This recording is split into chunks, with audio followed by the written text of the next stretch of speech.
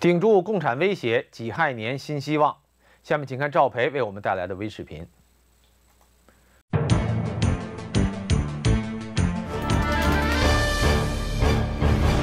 谢谢主持人，大家新年好。戊戌年啊，已经过去了。当初啊，很多人期待中国出现戊戌变法，但是没有出现。其实呢，清朝的戊戌变法不也失败了吗？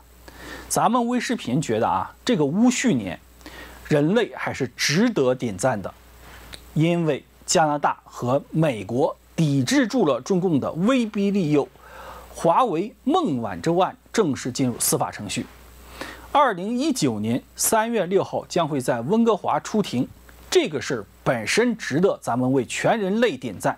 这也让大家看到了己亥年的新希望。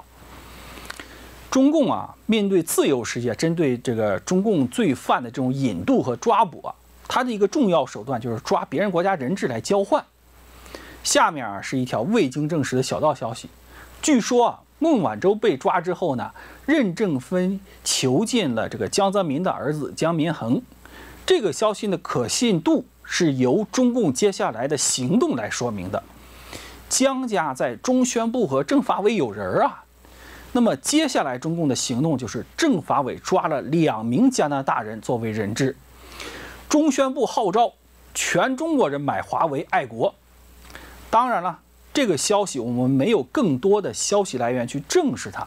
大过年的，大家就当评书听。那么习近平啊，可能都不愿意介入这个事情。咱们为什么这么说呢？证据就是美国总统川普采访中说，习近平没有为了华为给他打过电话。大家要知道，习近平当年可是为了中兴给川普打过电话的。看来华为的事儿，习近平不愿意插手。加拿大的外长和国防部长飞去美国，哎，见了美国国务卿蓬佩奥和国防部长。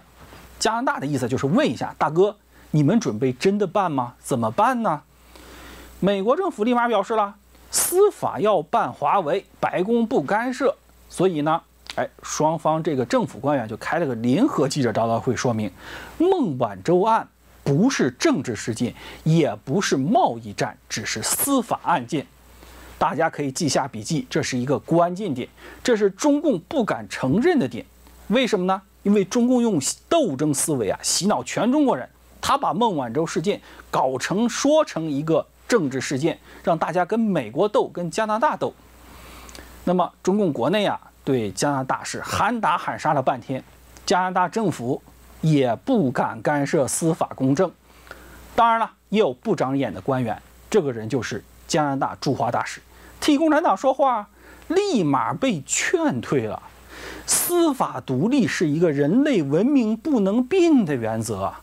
那么加拿大虽然人不多。但是咱们朋友多啊，加拿大政府就不断请求自己的兄弟们帮忙，先后举行了十九次的高级别会议，美国、英国、澳洲、德国、欧盟、北约都表示了不同程度的支持。这一开会啊，一到处说不要紧呐，这可把共产党的丑事抖搂的全世界都知道了，中共也害怕了。驻加拿大大使就说了：“哎，你别出去说了，咱们单独谈不行吗？”要我说啊，你早知如此，何必当初呢？当初加拿大政府找你好好谈，你可是气焰嚣张，不肯谈呐。你一个大使还威胁加拿大政府，甚至说如果不买华为 5G 产品，肯定会有后果。后果来了，什么后果呢？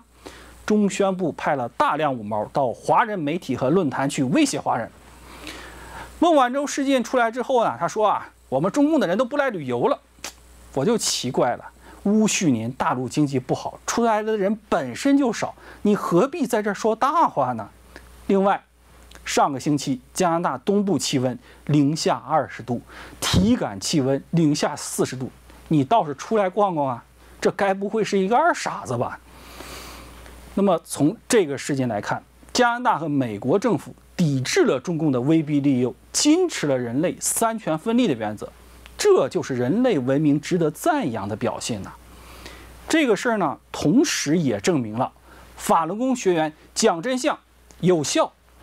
大家想，如果加拿大政府不和自己的盟友讲求中共扣押人质的这种真相，共产党的大使也就不会害怕，不会说软话。我们希望呢，几亥年全中国人都能听到真相，也都能讲真相，因为这样将会大大的抵制共产党在国内的恶行。这也是咱们对己亥年充满希望的原因。好，谢谢大家，今天的微视频就到这里，更多微视频在新唐人网站。